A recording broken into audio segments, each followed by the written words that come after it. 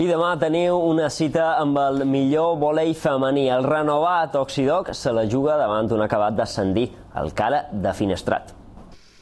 L'Oxidoc juga demà a partir de les 12 davant el Cala de Finestrat, que ja va guanyar a les mallorquines en el partit de la primera volta per 3 a 1 un partit que oferirem a les 6 de l'hora baixa en diferit. Els dos equips arriben en situacions compromeses, empatats a punts a la classificació i a un pas d'estar entre els 8 primers, tot i que més delicada és la situació de les mallorquines, que possiblement no podran comptar en la posada titular Marcelina Costa, que encara no ha tornat. Com ja vàrem avançar ahir, amb ell arribarà un nou fitxatge, Carla Díaz, central brasilera d'un 90 d'alçada i que va jugar a Promociones Díaz Rical. Així, l'atac de demà es confiarà sobretot a la central Vita Pritxeva i a la mallorquina Sílvia López.